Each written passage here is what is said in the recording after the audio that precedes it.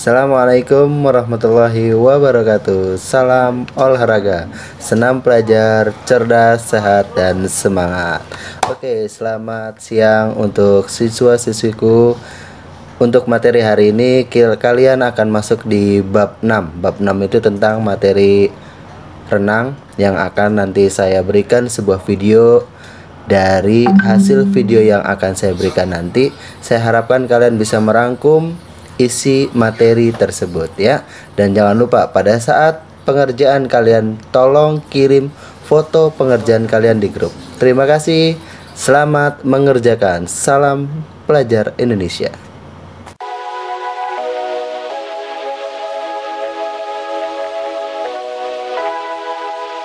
Ayo belajar mengenal teknik dan gaya olahraga renang. Teknik renang gaya punggung. Teknik renang gaya punggung adalah teknik renang dengan posisi badan terlentang melihat ke atas, sedangkan punggung berada di permukaan air. Untuk gerakan kaki dan tangan sama seperti gaya bebas, namun arahnya berlawanan.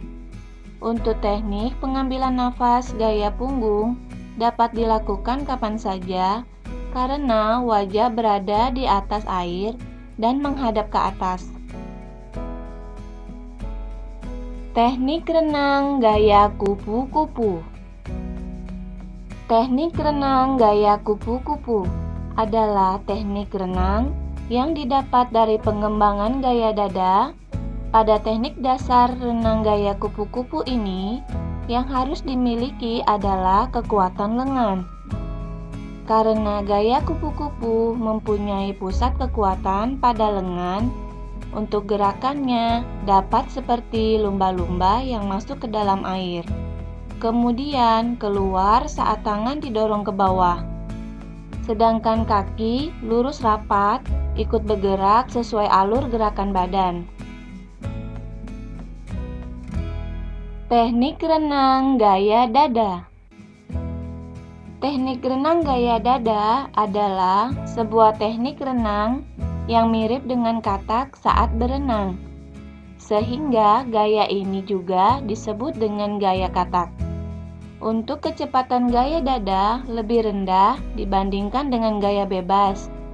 Namun, gaya ini cocok untuk orang yang ingin berenang secara santai. Teknik gaya dada ini berada di kekuatan tangan dan kaki untuk mendorong badan ke depan. Pada gaya ini juga diperlukan kemampuan tangan untuk mendorong ke bawah saat kepala ke atas untuk melakukan pernapasan.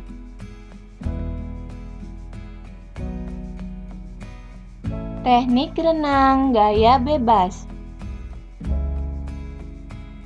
Teknik renang gaya bebas adalah teknik berenang yang menggunakan kebebasan tangan dan kaki untuk melakukan gerakan agar badan kita dapat meluncur dengan cepat.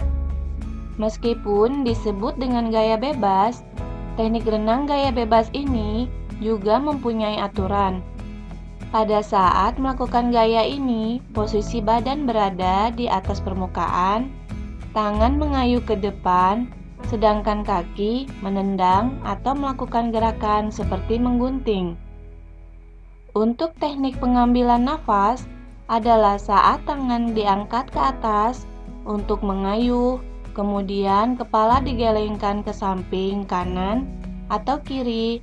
Setelah itu, lakukanlah pernafasan bisa dengan mulut atau dengan hidung.